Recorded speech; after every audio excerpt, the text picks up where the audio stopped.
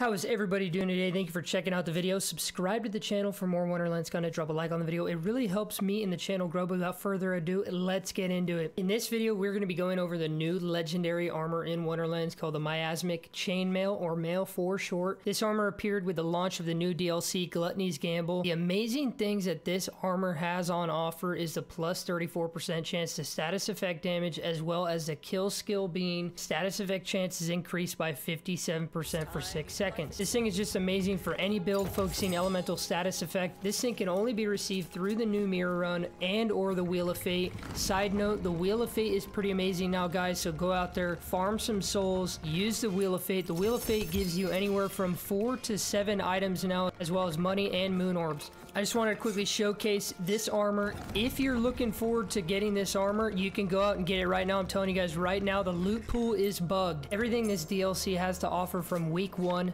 to week four is in the loot pool right now. So go out, start farming before it's fixed. And even if it gets fixed before you can get your hands on it, I'm sure you're going to be able to get it soon in the future. I appreciate you guys checking out the video. Subscribe for more Wonderlands content. Drop a like on the video. It really helps me and the channel grow. And as always, guys, stay happy, stay hyped, have a beautiful day, and good luck looting.